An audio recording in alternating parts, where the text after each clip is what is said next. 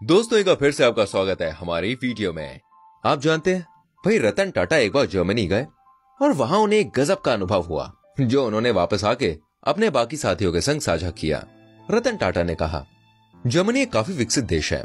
काफ़ी लोग सोचते होंगे कि यहाँ रहने वाले लोग एक शानदार जीवन जीते हैं। जब हम हैमबर्ग पहुँचे तो मेरे सहयोगी एक रेस्टोरेंट में चले गए, जहाँ हमने गौर किया कि रेस्टोरेंट की काफ़ी टेबल खाली पड़ी हुई है। वहीं एक और टेबल थी जहाँ एक यंग कपल खाना खा रहा था। उस टेबल पर केवल दो खाने के व्यंजन थे और दो बियर की बॉटल्स थीं। मुझे ये देखकर काफ़ी आश्चर्य हुआ कि भाई, इतना साधारण सा भोजन भी कोई रोमांटिक हो सकता है।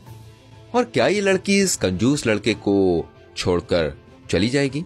दूसरी टेबल पर कुछ बूढ़ी औरतें थीं। जब भी खाना परोसा जाता था तो वेटर हर बार उनके बीच में बांट दिया करता था और वो भोजन का पूरा अंश अपनी प्लेट में से खा जाया करती थी।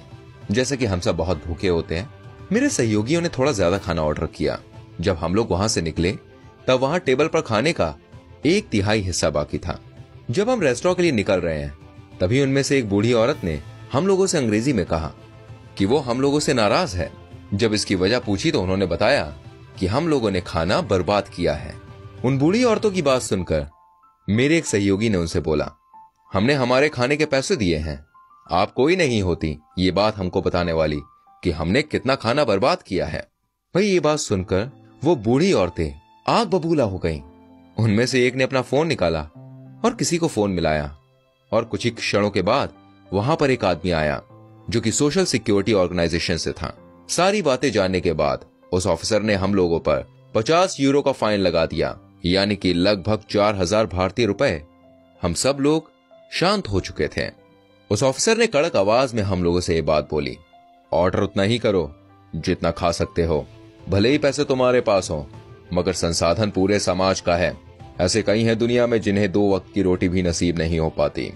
और आपके पास ऐसा कोई कारण भी नहीं है कि आप इसे यूँ बर्बाद करें। इस अमीर और विकसित देश की यह मानसिकता देखकर हम लोग काफ़ी लज्जित हो चुके थे। हम लोगों को भी ऐसी मानसिकता अपनाने की ज़रूरत है। हम ऐसे देश से हैं जो संसाधन में बहुत समृद्ध नहीं है।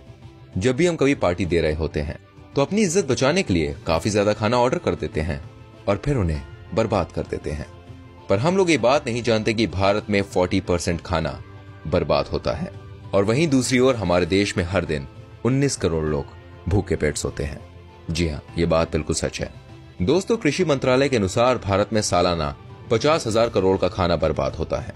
एक विकसित देश सिर्फ़ पैसों से अमीर नहीं होता, बल्कि एक विकसित देश में नागरिकों की सोच और ज़िम्मेदारी भी एक अहम भूमिका निभाती है। इसलिए याद रखें, कभी भी खाने को वेस्ट ना करें, क्योंकि जिस खाने को आप बर्बाद कर रहे हैं, वो खाना कईयों को नसीब नहीं होता। याद रखिएगा। आपसे फिर मिलेंगे अगली वीडियो में। तब तक के लिए अपना ख्याल रखिएगा। Bye take care